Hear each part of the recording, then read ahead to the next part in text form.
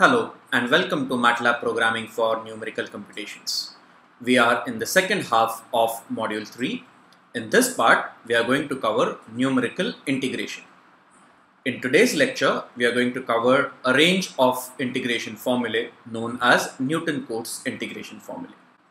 Numerical integration is primarily just finding area under a curve.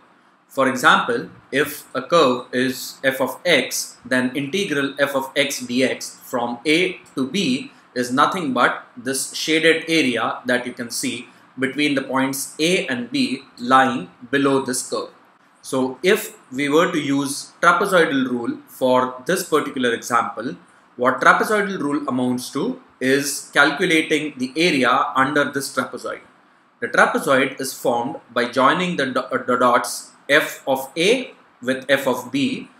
As you can see in this cartoon over here, uh, if we apply a single application of the trapezoidal rule, we are going to be fairly inaccurate. The results are not going to uh, uh, match closely the actual values of integral.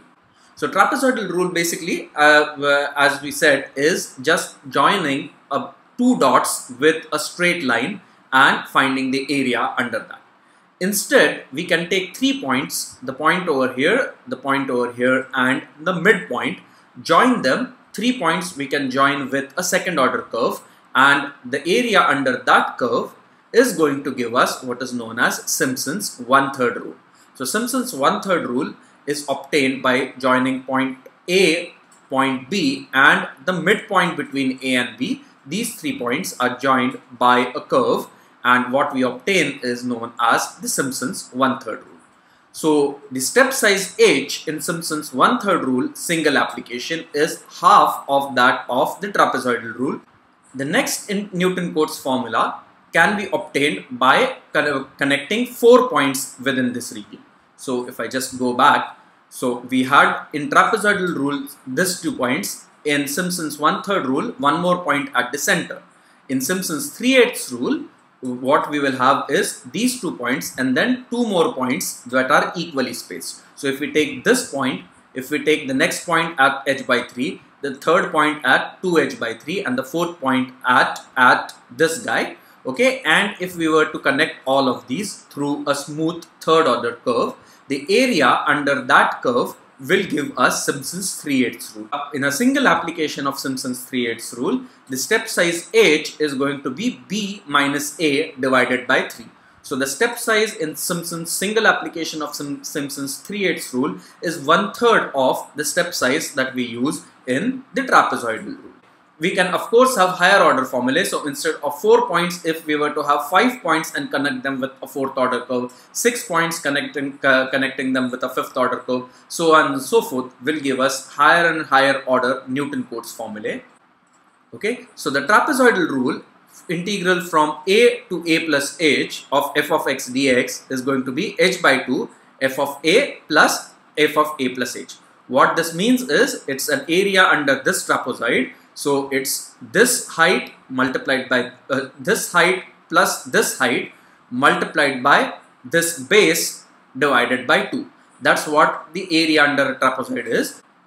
The Simpson's one-third rule is given over here is h by 3 multiplied by function value f of a plus 4 times f of a plus h plus f of a plus 2h. That's what the one-third rule is going to give us f of a plus 4 times f of a plus h plus 1 times f of a plus 2h. The whole thing multiplied by h by 3 will give us the Simpson's one-third rule.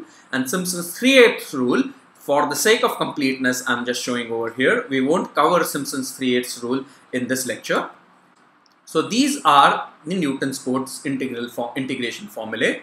To summarize the formulae and the local truncation errors, the trapezoidal rule formula is this the local truncation error is the h to the power 3. So the trapezoidal rule from the local truncation error, single application of trapezoidal rule is h to the power 3 accurate. Single application of Simpson's one-third rule is h to the power 5 accurate. So it's significantly more accurate than the trapezoidal rule. Simpson's 3 8 rule is also h to the power 5 accurate. As a result of this, usually Simpson's one-third rule is more popular than Simpson's 3 8 rule and for the simplicity of application, the trapezoidal rule is also very popular. Let's take up an example and solve that in MATLAB.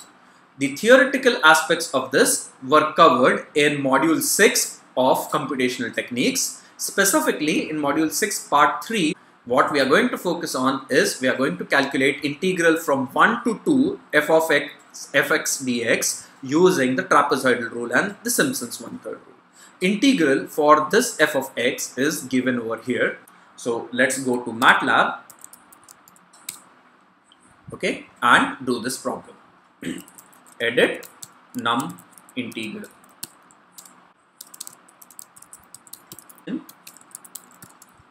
of Newton Cotes formulae.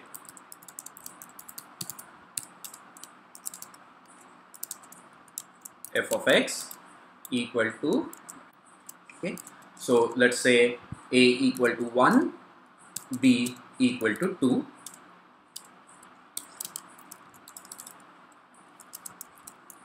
trapezoidal rule one third rule true val is going to be equal to x minus x square by 2 multiplied by x ln x. So b minus b squared by 2 plus b multiplied by ln b, b multiplied by log b. If you recall, log is gives the natural logarithm. So you can do help log if we wanted log to the base 10 instead, we would use the command log 10. Okay, so this minus a minus a squared by 2 plus a into log a. That's going to be our true value. Okay, so for trapezoidal rule, single application,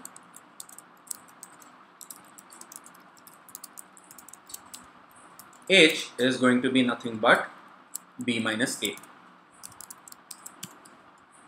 Okay, i trap is going to be equal to, let me just put underscore over here, i trap is going to be equal to h by 2 multiplied by fa plus fa plus h equal to h by 2 multiplied FA plus FB and we need to put this inside a bracket. Okay, where FA is nothing but 2 minus x plus ln x calculated at a. So it's 2 minus a plus log a. Okay, and FB is nothing but 2 minus b plus log b. Okay, so let's save this. ERR trap equal to ABS trueval minus I trap.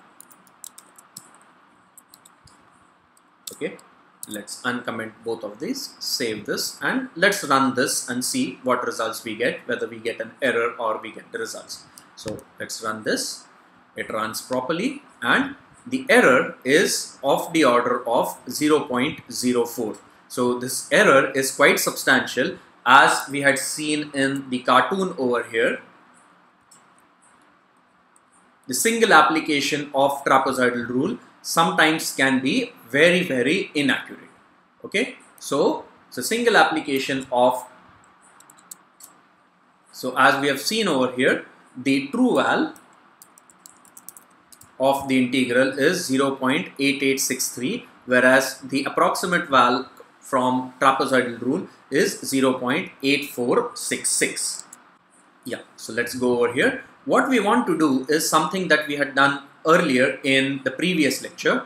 Uh, what we want to do is instead of calculating uh, the function values in line like this, we want to give a different function to calculate f of x okay so let's create a new function called my my fun integral. So function f val equal to my fun int x f val equal to 2 minus x plus ln x 2 minus x plus log of x end and we save this as my fun int and fa is nothing but my fun int a and this guy is nothing but my fun int b.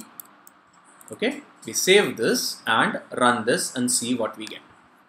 We should get if everything runs fine we should get the same values as before and that's exactly what we get. The error in trapezoidal rule is 0.04 and the integral value is 0.847. That's exactly what we had got earlier. Okay. In Simpson's rule, h is b minus a divided by 2. That's what h is going to be. Okay. And I sim is going to be h by 3 multiplied by f1 so fa plus 4 times fa plus h plus fa plus 2h or we can say f1 plus 4 times f2 plus f3 so let's just do that. F1 plus 4 times f2 plus f3 right? Okay. What is f1 f1 is nothing but function f calculated at a. What is this guy f calculated at a plus h and this guy is f calculated at a plus 2 multiplied by h. Okay? Okay? What is the name of the functions that, that that we created? The name of the function that we created is my fun int.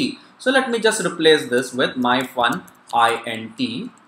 Again f i will replace with my fun int and this f also i will replace with my fun int okay that will give me isim and err sim is nothing but abs trueval minus i sim display results and we should be able to get the results more easily. So the errors using trapezoidal rule is 0.04 but the error using Simpson's one-third rule is about 4.5 into 10 to the power minus 4. So as you can see, the Simpson's one-third rule is significantly more accurate than the trapezoidal rule. Okay. So this is what we have seen. The LTE in Simpson's one-third rule is h to the power 5, whereas the local truncation error in trapezoidal rule is h to the power 3 okay? And therefore in this particular example it turns out that the Simpson's one-third rule is uh, gives better results than uh, the trapezoidal rule. Okay? So next what I'm going to do is I'm going to take this trapezoidal rule and I'm going to calculate the value of trapezoidal rule the integral using the trapezoidal rule for different values of h. So we'll start with f of a. Okay and f of a plus h uh, we will calculate this for different values of h. That means fb will be calculated for different values of h. Again we are restricting ourselves to single application. So let's go to this num, num integral. Drop down the save and click on save as num integral 2 I will call this. Okay we don't want Simpson's one third rule a is going to be this, H is going to be 1 and B is going to be A plus H. Okay, and this is going to be our true value. We don't need this. Now what I'm going to show is, let's say we have this particular code, snippet of code over here, how we can make this code a bit more streamlined. You have this FA over here, okay, we can just delete this FA and replace it with what existed over here. So just highlight it and drag and drop. Okay, same thing over here for FB also. Delete FB, highlight this part, drag and drop over here, delete these two guys. Okay, so let's save this. Let's clear all CLC and let's run this for h equal to 1. Okay, the error ERR trap that we get is 4 into 10 to the power minus 2. Okay, I will uncomment this part. Okay, now let us decrease h by one order of magnitude and take our h to be 0.1. Okay, our trapezoidal rule is h to the power 3 accurate. What that means is decreasing h by 10, we should decrease the error by 1000. So the error should decrease by a factor of 10 to the power minus 3. So let's run and see what the error we get now. By running this, you can see that the error has dropped from 4e minus 2 to 7e minus 5. So this, this is an almost 3 orders of magnitude. This is actually a 3 orders of magnitude drop. Let's drop this further to 0.01 and let's run and see what we get. When we run this, we further see a 3 orders of magnitude decrease in the error. Let's drop let's drop this even further and see what we get. Save and we will see 3 more orders of magnitude decrease in the error. Error went from 8.2 e minus 8 to 8.3 e minus 11. So as we decrease the step size by a factor of 10, the error improves by a factor of 1000. The error goes down by a factor of 1000 and that is because trapezoidal rule is h to the power 3 accurate. So this particular slide itself summarizes what we have covered in the lecture today. What we have covered is trapezoidal rule and Simpson's one-third rule. What we have seen is trapezoidal rule is h to the power 3 accurate what you may want to test uh, as a practice problem is to verify that Simpson's one-third rule is h to the power 5 accurate. I'm not going to do that in the video lectures because it simply follows the same procedure that we have done with the, uh, with the trapezoidal rule. Okay, and with that, I come to the end of this lecture. This brings us to the end of lecture 3.4 and I will see you in the next lecture. Thanks and bye.